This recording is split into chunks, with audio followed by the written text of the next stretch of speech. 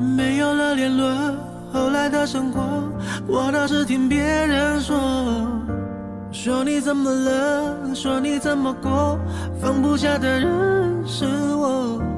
人多的时候就待在角落，就怕别人问起我。你们怎么了？你低着头护着我，连抱怨都没有。电话开始多，从不对我说